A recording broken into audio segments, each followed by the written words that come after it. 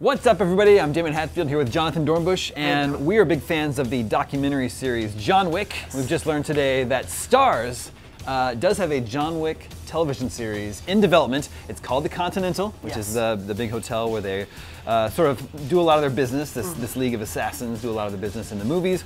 Uh, but this show is going to be set in LA. Yeah. The op- opposite side of the country from New York, where the movies are largely set.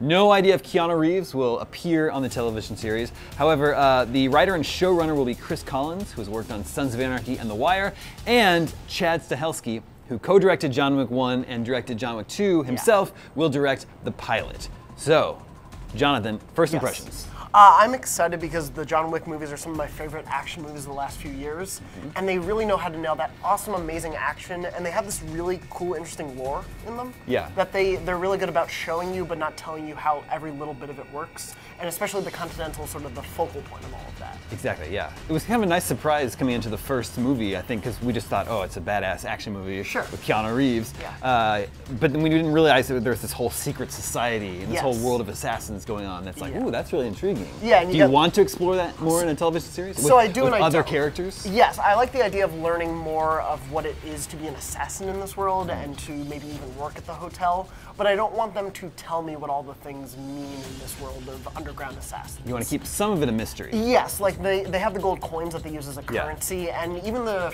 director Chad Stahelski, I believe, uh, he said right back when the original John Wick came out, I don't need to tell you where the coins come from. I don't Exactly. need to tell you what they mean, and I don't want this show to do that. That would be my worry: is that to fill time, they want to dive deep into every little bit of the lore. I don't need you to do that. Yeah. But having it on a weekly basis could be really fun. I think yeah, I think there is a lot to explore in this world. Although I agree with you, I don't I don't need everything explained away from me. Yes. Uh, but one thought I had was that I love the character the Punisher. Yeah. I've always loved the Punisher, and I think like the John Wick movies are the best Punisher movies ever made. Yeah. Uh, and I love Jon Bernthal's portrayal of the Punisher and in the Netflix series. He's fantastic. But I thought the full Punisher series, I, I just found it boring. At the end of the day, it was just it was there wasn't enough action, wasn't enough punishing, too much talking, not, enough enough punishing.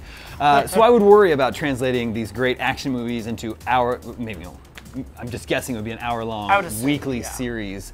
Uh, they have a hard time translating, you know, high-octane action movies into hours and hours and hours long TV shows. Yeah, what's great about John Wick is you know you're in for a two-hour contained story, Yeah, and you exactly. get bits of there being this more to this world, but that's it. And I'm worried that a show, if they give it a short epi- episode order, it might work. If Yeah. it's six episodes per season, that could work. But like you were saying, The Punisher, it drags. It's 12, 13 episodes. Yeah. It takes too long to get to the best moments. Yeah, of the show. but maybe that's where uh, John Wick has an advantage over the Punisher because it does have this interesting Yes. lore, uh, this mysterious world that we can explore that the Punisher doesn't really have. It's just Absolutely. just an angry guy that's out to get, you know, just out to punish some people. Yeah, and here is. he also has a code.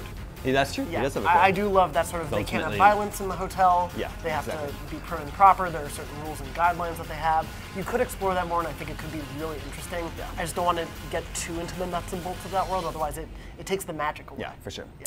All right, so the Continental TV series is currently just in development at Starz. It has not been officially greenlit yet, but we want to know what you want to see in the John Wick possible television series. And as soon as we get more information, we'll share it with you right here at IGN.